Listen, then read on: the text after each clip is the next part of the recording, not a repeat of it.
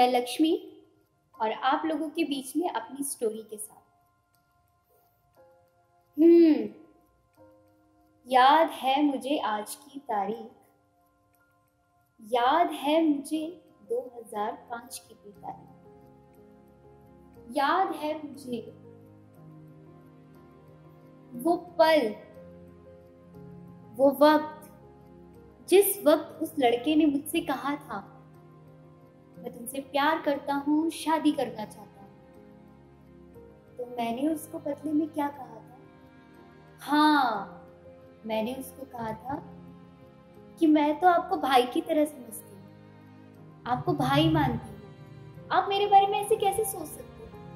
पर नहीं, उसे तो सोचना था ना। हाँ मैं उसको बोल के वहाँ से चली गई। फिर क्या था? वही इसने मुझे ना कैसे बोला? हम्म, ना कैसे? क्योंकि उसका ईगो हर्ट हो गया। क्योंकि मैंने उसका ईगो हर्ट कर दिया। क्योंकि मैं एक लड़की हूँ। मैं तो ना कर ही नहीं सकती थी। और वो लड़का ना सुन नहीं सकता था। फिर क्या था?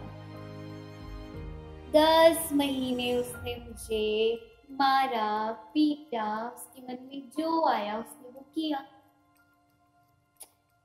और मैं डरी डरी, सहमी सहमी लड़की किसी से कुछ नहीं कह पाई, क्योंकि मेरा भी सपना था। मैं भी उड़ान बनना सिंगर बनना चाहती थी। अपने सपनों को पूरा करना चाहती थी। किसी रियलिटी शो में जाना चाहती थी। अपने सपनों को जीती थी। मासूम सी एक लड़की जो खोई खोई सी रहती थी। डांस करना पसंद था, गाना पसंद था, सब सब सब। पर एक दिन एक ऐसा वक्त था याद है मुझे वो तारीख? 19 अप्रैल 2005 हम्म। उस 19 अप्रैल 2005 को क्या हुआ शाम का वक्त था। और मेरे फ़ोन में अचानक से बेल बजती और मैं देखती हूँ कि एक मैसेज आता है। उस मैसेज में लिखा होता है, मैं तुमसे प्यार करता हूँ और शादी करना चाहता हूँ। मैं छोड़ देती हूँ, कोई रिस्पॉन्ड नहीं अगेन उसका मैसेज आता है। मुझे अभी और इसी वक्त जवाब मैं छोड़ देती हूँ, कोई जवाब नहीं फिर no call no message hmm twenty first April को मुझे याद है। कि मैं ट्वेंटी फ़र्स्ट अप्रैल को अपने घर से निकली और अचानक से मेरा फ़ोन मैं देखती हूँ, उसी नंबर से वो कॉल आती है। और मुझे लगता है कि शायद उसकी बहनों ने मुझे मुझसे बात करनी है। हम्म। मैं फ़ोन उठाती हूँ। हेलो लक्ष्मी, तुम कुछ बनना चाहती हो? तुम कुछ करना चाहती हो? हाँ। अपने सपनों को पूरा करना चाहती हूँ? हाँ। अपने मम्मी पापा का नाम रोशन करना चाहती हूँ। जी। चलो ठीक है।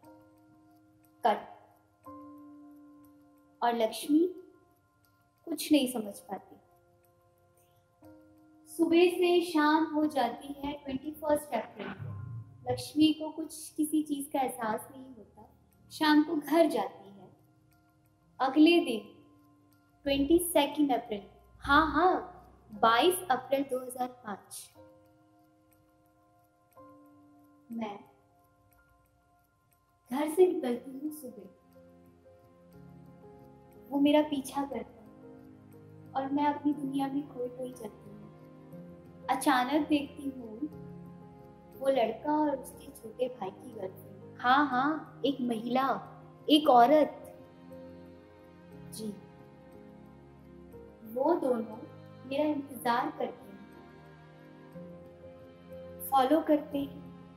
बियर की बॉटल में तेजाब लाते गिलास लेके आते मैं जैसे ही रोड क्रॉस करती हूँ, अचानक से देखती हूँ कि वो भी रोड क्रॉस करते हैं। आगे बढ़ती हूँ, देखती हूँ कि वो आ रहे हैं इस तरफ़ को। तो सोचती हूँ कि हाँ कोई बात नहीं, सड़क है, कोई भी आ जा सकता बस ऐसे देखती हूँ, अचानक ऐसे करती हूँ।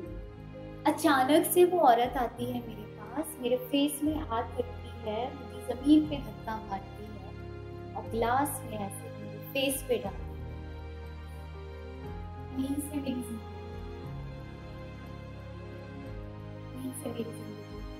अलग अपनी स्टोरी को फिर पूरा करूँगी। इतनी बात समझ के, सुन के, ज़रूर समझिए कि आगे क्या हुआ था और आगे क्या हो सकता था। फिर मिलूँगी अपनी आगे की स्टोरी के साथ। बाय